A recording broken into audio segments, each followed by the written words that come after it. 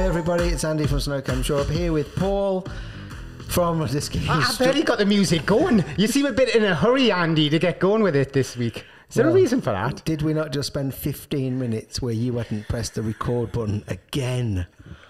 The last one we did, we ran out of film or whatever it is in this fancy, what is it, 10 grand camera that we use that, that, that just turns off halfway through. On this one, you said, you turned the screen so I can see it, so it says record. I can see it says record. 15 minutes in, you go, I've not pressed record on the sound.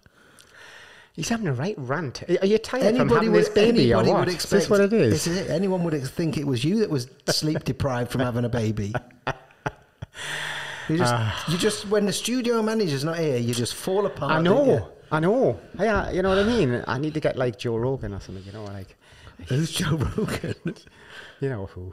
This podcaster. Oh, it's a, oh, I've never heard of him. to be fair, Ah, right. then. Someone who I've heard of is this Tom Gellie fella. Gilly, Oh, Tom Jelly. Jellyface. Who you? Yeah, yeah. Who you? Why? Why I was away having a baby? You came back from your Iceland and Greenland trips, and you did a little bit of a go off, and you went and filmed three videos with him. I know, what a traitor. Eh? Traitor left Andy.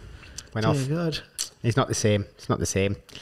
But yes, I was with. Well, uh, he's, he's not got. He's not got my charisma, has he? To be fair. Yeah, he doesn't have your accent either. um, yes, we did. We did uh, reflection on Gellie.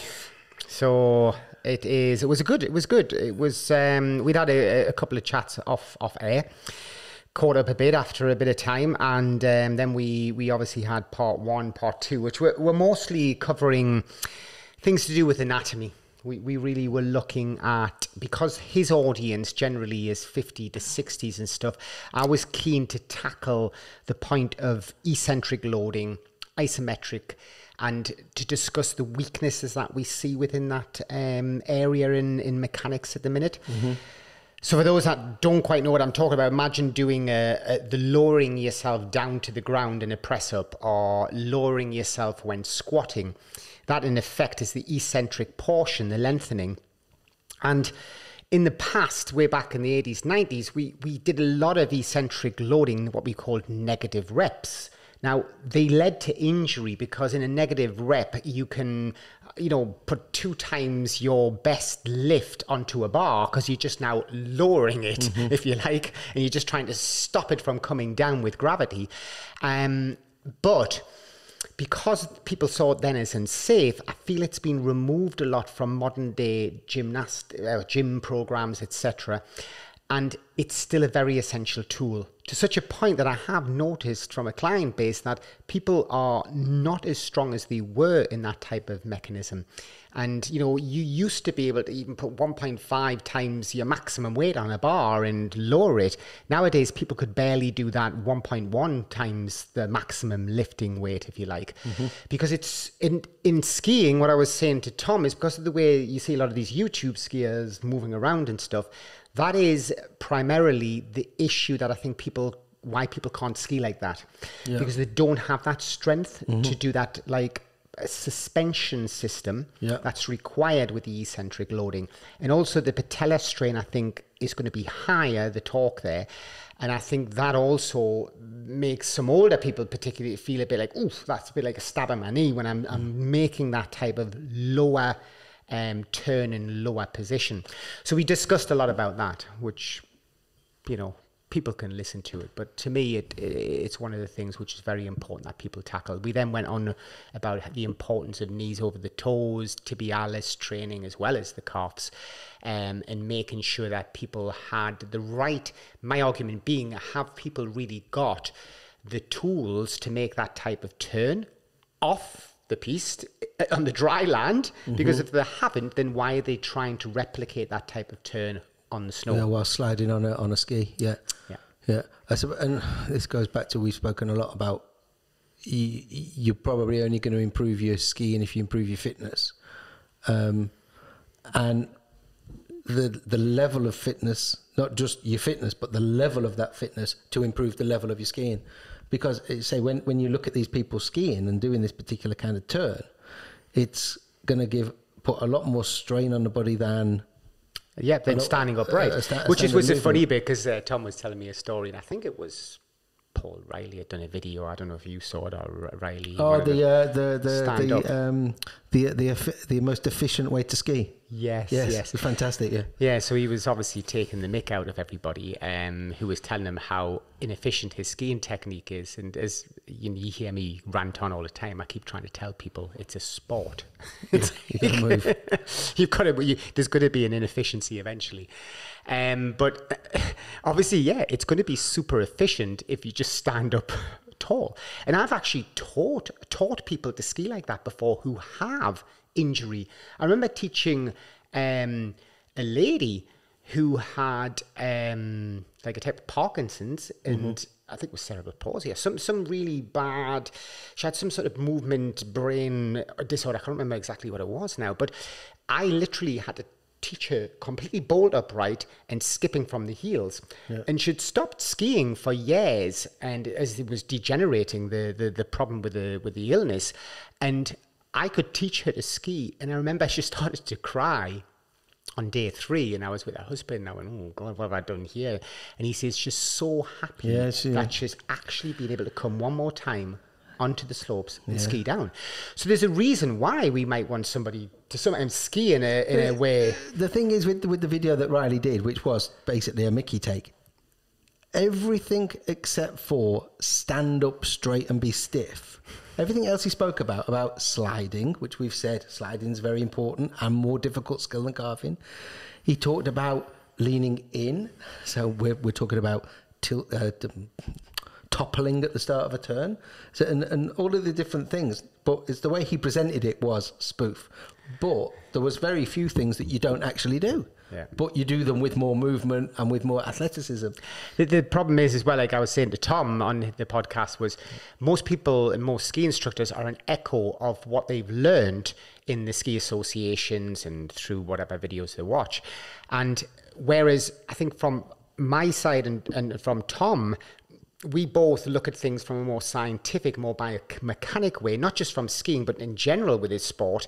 And because we've been introduced into anatomy and we understand it, we understand it doesn't have to be a set system that somebody uses to ski, for example, or hmm. to snowboard or whatever it is. You can break the rules Yeah. as long as it works. And and uh, uh, we've kind of we touched on this when we talked about the associations and things, and they don't help themselves in the way that they train the teachers and examine the, the new ski teachers is with a very methodical progression. And I think a lot of the younger ski teachers think that's what I have to do, do. Yeah, and it's course. only the ones. And we our most recent podcast that we did a few weeks ago, we talked about what makes the best ski teachers, and one of the things we said was older people with experience because they will challenge the system or question the system or say, well, hang on, John isn't getting it by doing that, so I'll get him to stand up tall. Bingo, he's got it. Yeah. You know? Like like somebody said to me, how do I stop people from sitting back? I said, well, you ever thought about just stand them up? Because if they're stood up tall, Yeah, they're they not sitting back. Yeah. yeah. So um, I think yeah, the system doesn't help itself in that, but Uh, as, But that's tradition, as we discussed yeah, before I screwed it's up a with the very thing. regimented way of doing it, Yes, not you're it? not you're not encouraged to ask questions No. within the associations and within the system. That is a big problem that the ski industry still has. That a lot of other industries have addressed. You are not encouraged to go into that office and tell some guy who's been skiing since 1970 or 80 or whatever. He's an Austrian or a Swiss or whatever, and say, "Oh, by the way, have you ever thought of doing this?" You are shouted down. You know, you are, why should we? Why, why should we do that? We've always done it this way. Yeah. Um, I think, and wasn't it Clive Woodward when he went to the England rugby team job thing? Because he wasn't a, he wasn't like a rugby, Rugby player. player. was he? He was brought in to manage that team in an entirely different way than they'd ever been managed before, and he changed a lot of what they did within the fitness. Obviously, the drinking culture went. I think they. He didn't talk about we've got to be twenty five percent, hundred percent better than the opposition. It was just one percent. So when they went in at half time, they put on a new uh, new uniform, a new kit. So they came out on the start of the second half as if it was the start of a new game, and, and, and it was all yeah. these things that he changed, which got them to win the World Cup. And again, if if the rugby people, I don't know what they're called, um, if it's the, the, the- like the FA but for rugby, if they would if they'd been kind of, oh no, why why should we change? We've always done it this way. Then he, he probably wouldn't have got that job and, and done what he did. Yeah, no, I mean, the- Beating Australia, Tom, in the World Cup at rugby, I think it was. and it's it's the same, obviously, the same story with it with it with biking when it when it changed as well within Sky. Mm. Um, you know, the the idea of these one percents were very important, also bringing in sports scientists who were nothing to do with biking, who would go, but but why do you not cool down and warm down? Well, yeah, we never warm down. You never warm down, okay, mm. but why? Yeah, because we've never done it. It's tradition. It's French. Yeah, yeah. It's the way the French do it, you know. And suddenly things changed. And of course, Sky were laughed at for years. And obviously, then they obviously won everything. And people went, oh, we better start copying what they're doing. And the ski industry needs a bit of that. And I think now that you're going to have like the Tom, um, who's in a lucky position, I suppose, myself in a very lucky position where I can question associations without worrying about being told off or who the hell does he think he is, then, you know, people like us, I hope, can then bring the ski industry into the into the 20th century um, because it's it's just such a stuck in the past type sport. So yeah, so we spent the first, I think, first two parts. We were discussing different things about um, anatomy and things like that, and then of course on the the third section, we then I opened up that um, interesting question of asking Tom about length of skis, um, and Tom confessed, as I thought, that he, you know, started on the slalom ski in in, in, in Australia and had developed through the system on the slalom ski. The reason being, he argued that was because the slopes there in Australia are not quite, you know, like here. Yeah, they're quite they're quite narrow and short, aren't they? So they favour a short turn. They don't kind of let's say race carve down because they're also quite busy. I've seen pictures and it looks like the M25 in, in um, and places like this. So I think yeah, that's that's one of the reasons they say they have always skied on slalom skis. yeah. Yeah. And do you think it's different or? Well, I think that the, the, the style of skiing that they do, and the, the Australians, the New Zealanders, the Japanese, and a few of the other kind of southern Korea, hemisphere yeah. countries do have a different style of skiing. And it goes back to what you were saying about this being suspended, the legs are working underneath. And that, I'm not saying that the Austrians and the Europeans don't ski like that. It's part of the skiing, but it's not the be and end all of the skiing.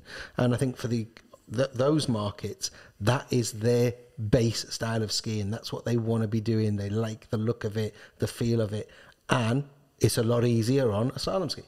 Yeah, absolutely. Oh, oh no, hang on. It's a lot easier to get that turn on a slalom ski, but the forces on the body and the pressure and the work you're probably doing over the day is greater. Yeah. Which you'll probably elaborate on. yeah, which I've, I've mentioned before that skiing all day dynamically at performance level, hard packed with a slalom ski, you're more likely to feel it on your knees, your back at the end of the day than skiing on a longer ski. A longer ski is just that bit more forgiving and pliable, and it, it's just it's just physics. It's just the forces. I mean, again, I've mentioned before, if you've got somebody one meter eighty and the slalom ski is only one sixty five for a man, work it out. There's going to be more force. So from my side, that's why, and I was lucky, I'd done the same as Tom. You know, I'd stuck to a slalom ski generally going through towards level two, level three, and then I progressed because I was in Austria and everybody would laugh at you. I progressed onto a longer ski and tried a bit with the GS. And after all these this time, I've come down to the conclusion, like you have, that it's the race carve length that's the optimal in between balance. That length between sort of, you know, anywhere from 16 to 19 meter radius um, is the best ski because it's not so parabolic, you know, it's not so aggressively shaped, um, but equally it's not completely straight and, you know, and doing a radius of 25 or 30 meters as well when your clients are stuck behind you and you're all flying down the slopes and they're struggling to keep up in a straight line. Yeah. It's funny because I, I just got a new ski, so I got a new X9 because the last X9s had, had, had split, um, and I'm debating whether or not I'm even going to ski them or use them as my main ski next winter. And if I am going to go back to a 17, 18 meter, because we were looking at some videos of me doing short turns on the shorter radius ski, and they weren't as good as my previous short turns on a much longer radius ski.